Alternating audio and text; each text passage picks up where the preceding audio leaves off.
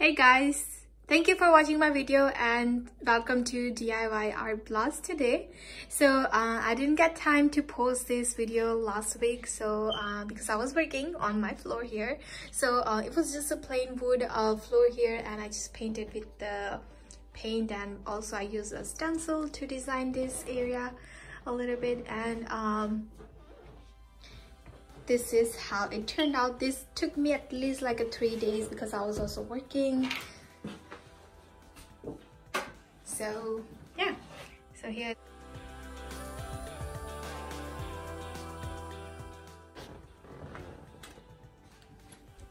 So i really like how it turned out.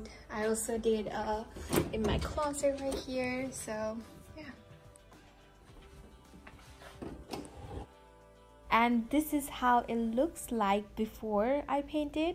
So these are the material that I use to paint my floor. Tape roller and this paint it's good for porch and any patio floor. And the last coat is polyacrylic and it's good it's a wood water base and this is a black paint. Alright so again I'm just gonna show you before picture how it looks like before I paint it. So here I'm just cleaning every small area with just a rag and uh, some vinegar water and some soap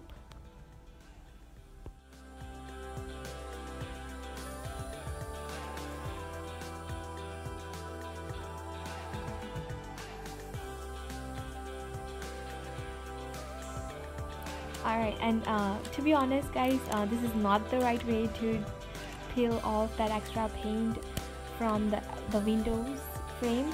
And uh, but I'm using just a knife here and just kind of peeling off everything. And I didn't show the sanding part here but yes I also sand this area a little bit using a sandpaper.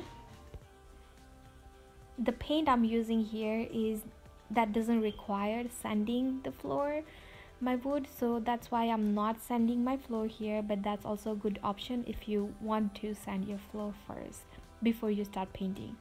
So here I, I'm just starting taping everything all the edges here. So now it's a fun time painting. Alright so here I'm just using paintbrush and uh, white paint to do my first layer and I'm painting just the edges for now and I'm covering maybe 4 to 5 inches from on the edges.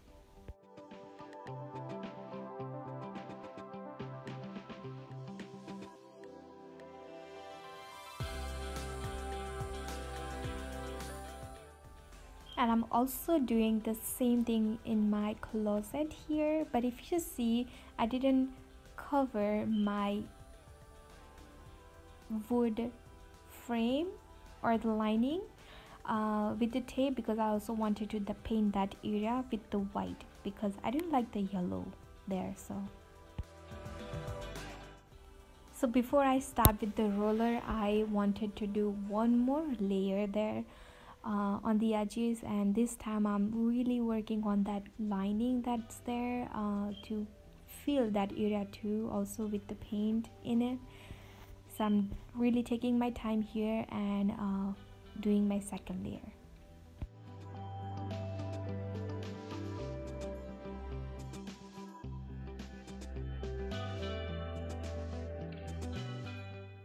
So here I started using my roller and I'm just covering all other area. In the middle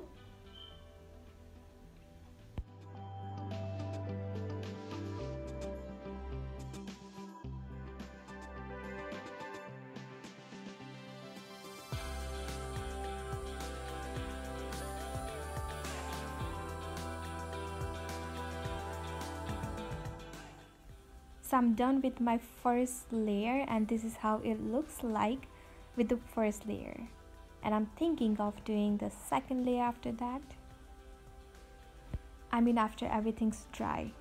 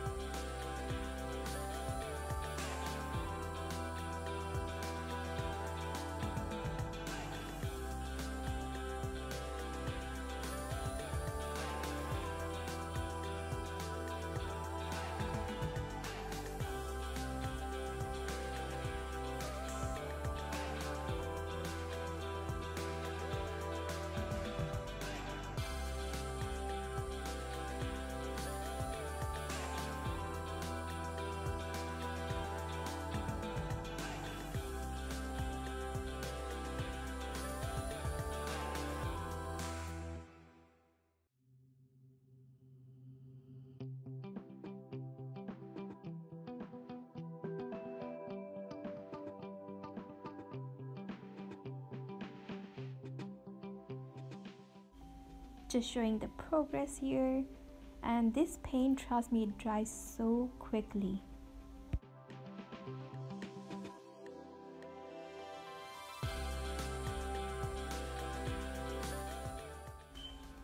Just another tip that um, whenever you are done i'm just uh, using a ziploc here and putting my roller inside my ziploc and i just put it in the refrigerator for um, for the next time use so again i'm just doing my second layer and i'm going between my wood space and filling the space with second layer and more some some more paint.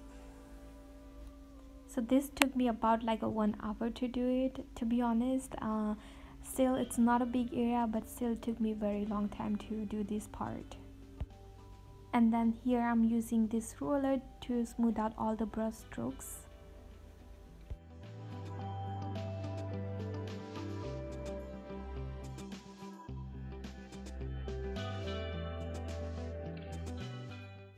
so the third layer is not necessary but here I'm still doing my third layer because I feel like I need to.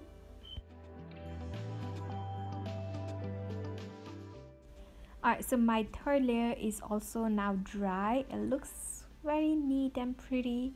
And if you see that I also tape the edges one more time. Uh, I leave maybe couple inches from the edge and tape one more time on that area so that I can add some design there.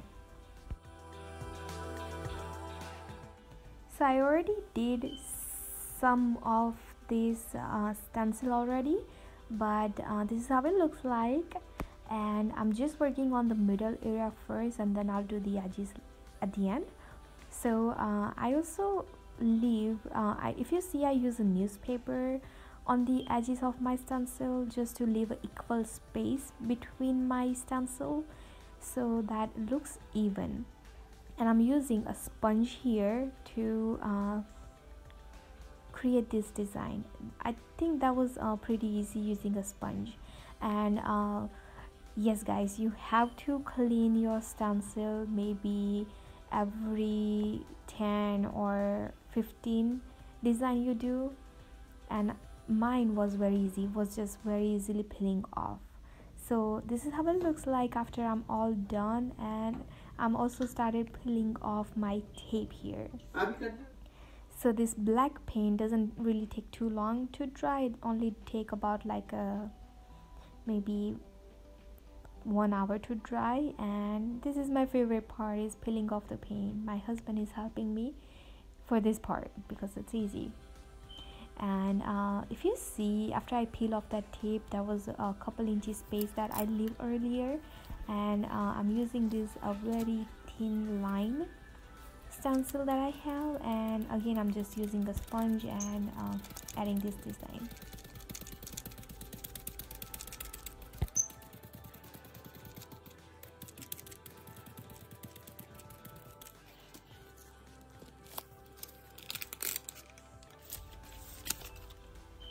this is how it looks like and I already did this uh, corner here first. Alright so now it's a touch-up time. So uh, wherever I see little black dots um, I'm just adding a maybe a little touch of white on top.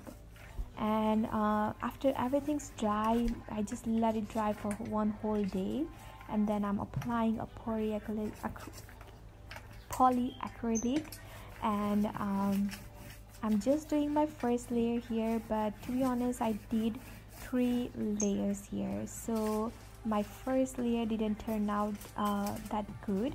So I have to switch to my smaller roller and that's what I use to do my second and third layer.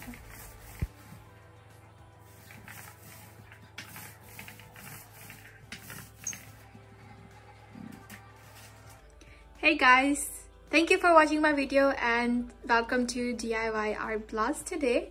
So uh, I didn't get time to post this.